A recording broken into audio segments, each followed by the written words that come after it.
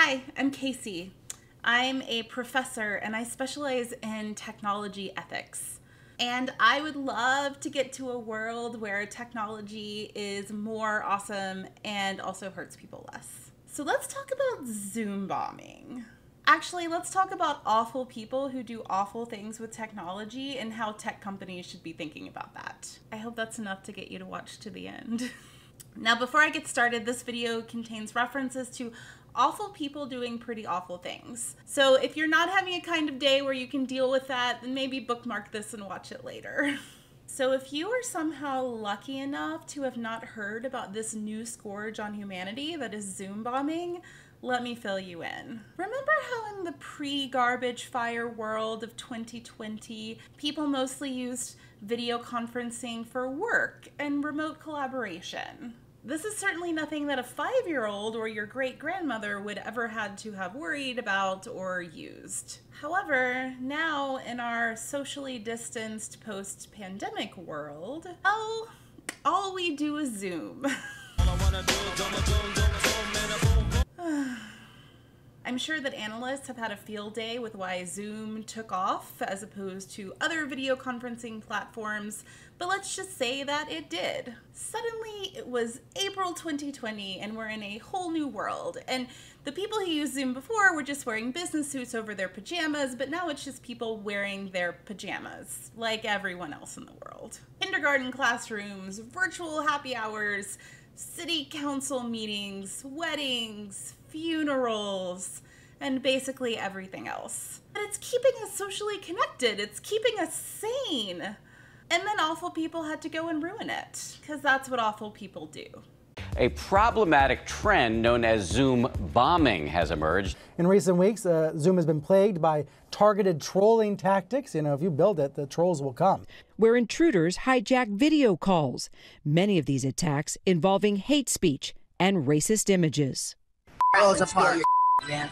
Those man. We're getting bombed. They started shouting racial epithets. They shouted the N word. A group of Zoom bombers crashed the meeting, unleashing profanities and racial slurs. Oh, y'all have coronavirus. Every single one of you. We were being violated and degraded in our own homes.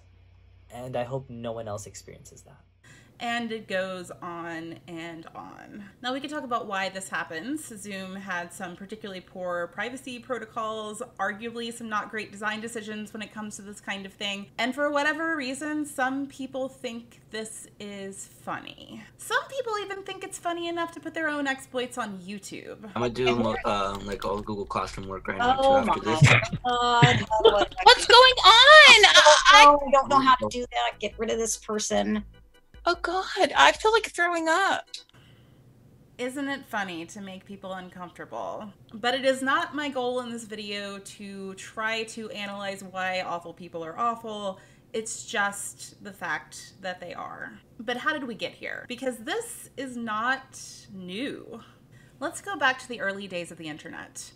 Before Zoom bombs and deep fakes and doxing and social media harassment campaigns, or really social media as we know it at all, imagine online interaction as simple as a text based MUD, which stands for multi user dungeon, but basically think like World of Warcraft, but in text. Like Zork or Colossal Cave Adventure, but with lots of other people. I actually played one of these in a dial up bulletin board when I was in middle school. It was called Legends of the Red Dragon. The murky forest stands before you. What do you do? Well, you look for something to kill, of course. Or you could have a conversation at a bar with other patrons. Or you could just take out the role playing element entirely and go straight to 100% socialization. Like LambdaMOO. So, Lambda Moo was established in 1990 and it was one of the first really popular online communities. And when I say really popular, I mean like 10,000 people, but at the time that was a pretty big deal. this seems really peaceful, right? Like,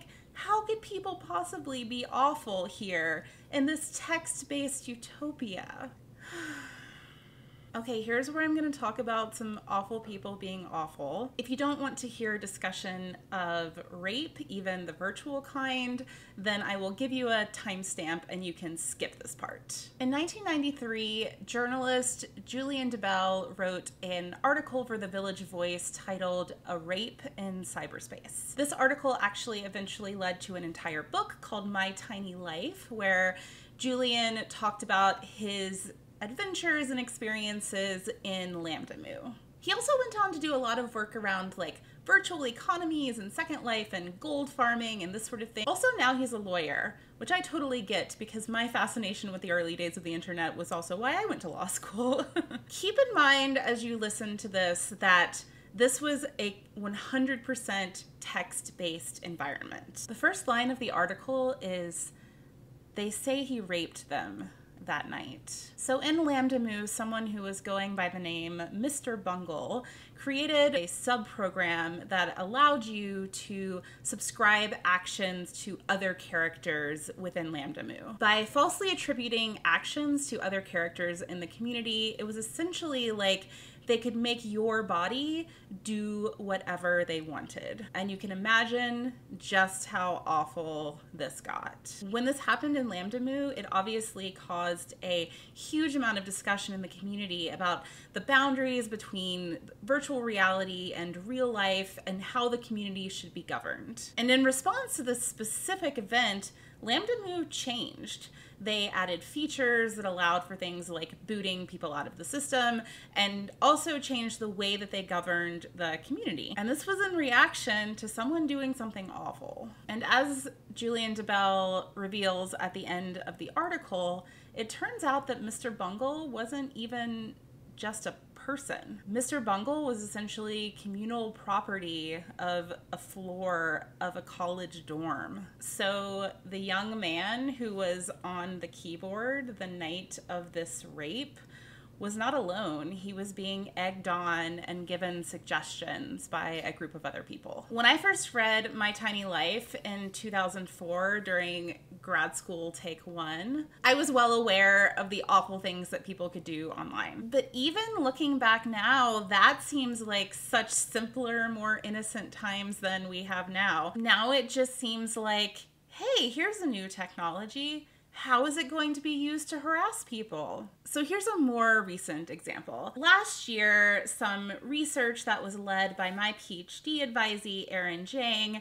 resulted in a paper about moderation practices on Discord. The difference between Discord and other types of similar online communities is that voice chat is a huge part of it. And it turns out that when you talk to the people who do the moderating in an online community, you find out about all of the bad things that people do there and all of the new ways that they can figure out how to break rules. You know how when you see a warning label that says something like, don't hold the chainsaw on the wrong end, and you think, Someone must have been clueless enough to hold the chainsaw on the wrong end. Or we would need a warning label. Similarly, when you're in an online community or like a subreddit and you see a rule that says, do not spam this community with pornography, you know that that rule probably exists because someone spammed that community with pornography. For example, when we talked to Discord moderators, they described a behavior that they called, and I'm not a fan of this term,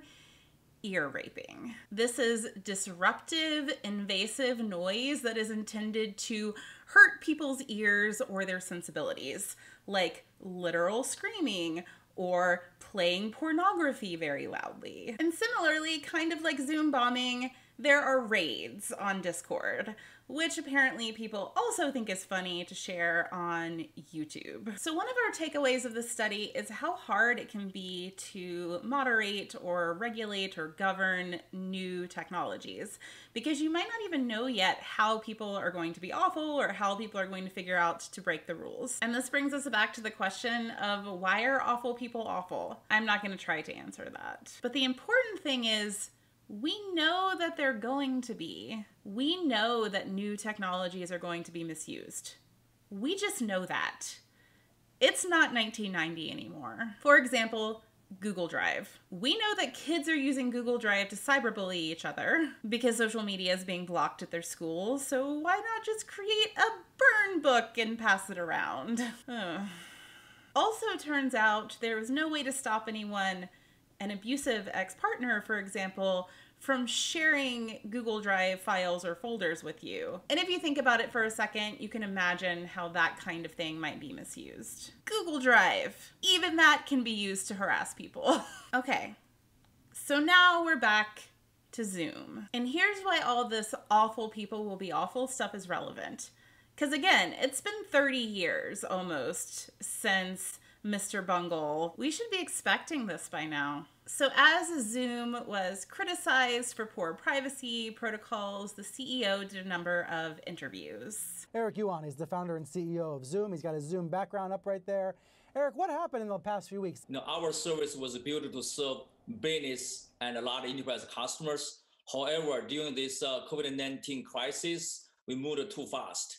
Our intention to serve the end users, of the K-12 schools. However, we, we have we had some missteps. And he also gave this quote to the New York Times. We were focusing on business enterprise customers. However, we should have thought about what if some end users started using Zoom for non-business events? Maybe for family gatherings, for online weddings. The risks, the misuse, we never thought about that. So my question is, why.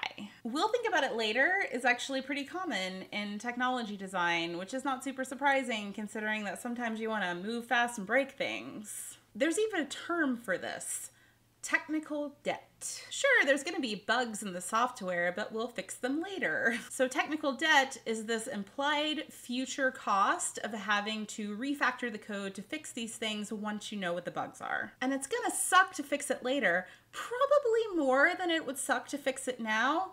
But hey, at least we can get it out. Gotta hit those release dates. So, my PhD advisee, Natalie Garrett, and I have been thinking about ethical debt. Like, sure, this new technology might cause harm, it might have some huge social implications, but we don't know what they are now. We'll fix them once we know what happens. Of course, especially in this case, by the time the debt collector comes, it's too late. The harm has already been done. The harm has to be done for you to know what it is. And those students, and funeral goers, they can't unsee or unhear whatever the Zoom bombers threw at them. So, what do we do about it? Well, one thing is we should be thinking about the risks, the misuse during the design process. For example, user experience designers, or really any kind of technologist, often create user personas to imagine ways that people might use their technology. These user personas should involve personas like user stalking their ex, user who thinks it's funny to traumatize vulnerable people, racist user, sexist user, user who thinks it's funny to show everyone their genitals. And if you're not doing this, I think you're missing a really important design step. And that's even if you're creating something as innocuous as productivity software. Because boy, are awful people creative. And if the way that you're thinking instead is, well, sure, maybe people will misuse our tech, but we'll figure it out after they do it, then start keeping an accounting book of your ethical debt. And if all I can do to convince you otherwise is to point out that you could have a PR disaster, then that's fine. I'll point that out. Yeah, you could have a PR disaster. Like, this was not a good look for Zoom. And another thing is, you know who might be really good at imagining ways that technology might be used to harass people? People who get harassed a lot, which means women and LGBTQ people and people of color in other words, the exact people who are underrepresented in the tech industry. This is one of the reasons why diversity in tech is important because also these harms tend to disproportionately affect marginalized and vulnerable people. And if all you're thinking about is most of your users, then the same people keep getting harmed over and over and over again. Because the problem with the debt is that it has to be paid back with interest. And maybe for technical debt, bug fixes aren't such a big deal, but for ethical debt, if harms propagate, then it's everyone who's paying the price. And one of the things that this means is that we can't always trust tech companies to protect us. This is why it's really important for everyone to have a good sense of how to protect your own privacy online, for example. And if you're using Zoom on a regular basis, make sure that you understand the features, that you're setting passwords and using waiting rooms and doing everything else that you can to prevent Zoom bombing. I'll link to some resources down in the description that make some suggestions about, about what you can do to protect yourself. Right now, some of the research that my students and I are doing in my lab is around how to help technology designers speculate about future harms. I really hope that this is something that increasingly becomes an integral part of the design process so that hopefully we can avoid some of these kinds of blowups in the future. Though, on an optimistic note, maybe we can also just convince people to not be so awful. I would like to think that that's possible. but until it is, be safe out there. If you're new to my channel, I do mostly post videos about academic advice so far. However, I do plan to keep making some of these video essay style videos about my research, including tech ethics and online communities and other awesome things that I like to do. So if you liked this video, give it a thumbs up and subscribe because I would love to have more people find these. Check out the description below for links and references to things that I just discussed. And I'm Casey. Thanks for watching.